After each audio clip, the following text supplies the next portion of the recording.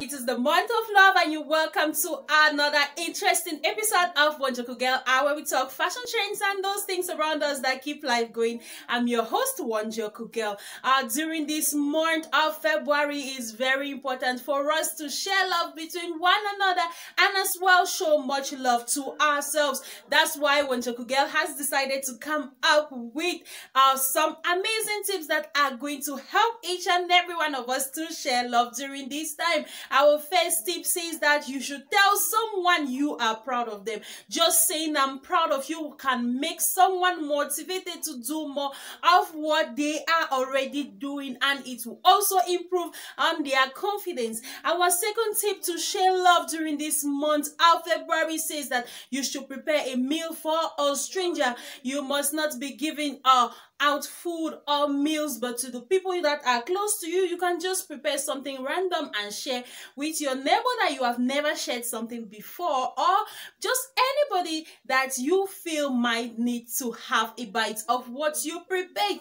Our tip says that you should try as much as uh, possible uh, to give out those things that you no longer need all those things that some other people might need. For example, you can have a pair of jeans, you have bags, you have clothes that you no longer wear anymore, but there are people out there who need them. So you can use this period to share some love. You can share these gifts out with uh, those people.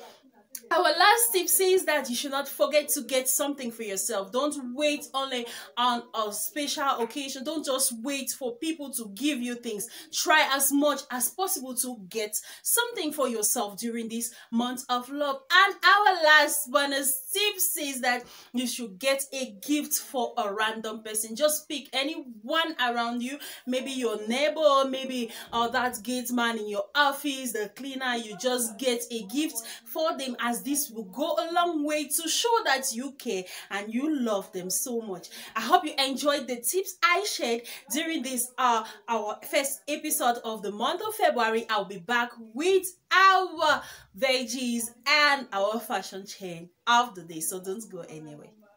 Let's talk veggies talk about some vegetables and on today's episode we are going to talk about cucumber. Cucumber is one of those beautiful vegetables that can help you stay hydrated especially during this period of the dry season. The water content of a cucumber is going to go a long way to make your system a very agile and energetic and the vitamin k in it as well is going to help to boost your immune system. While not forgetting the fiber in it as well. It's going to go a long way to make your system ready and very active during this period of the dry season. So you are advised to consume lots of cucumber during this period so as to stay hydrated. So you can just go to the market today get yourself enough cucumber keep some in your refrigerator so you consume them as much as you love. I'll be back with our fashion trend of the day, so don't go anywhere. Fashion trend of the day. You're welcome to a fashion trend of the day slot on Wonjoku Girl uh, and today we are going to talk about the African beads. Some of the oldest African beads were made from natural materials such as stones, clay, palm nuts, bamboo stems, and even ostrich eggshells. The color and the texture of these materials were retained and combined in different ways to make necklaces and bracelets. These beads, though they were handmade, they were used to make jewelry as well as they played an important role in the life of Africans as they served as a form of currency and sometimes as an artistic uh, creation.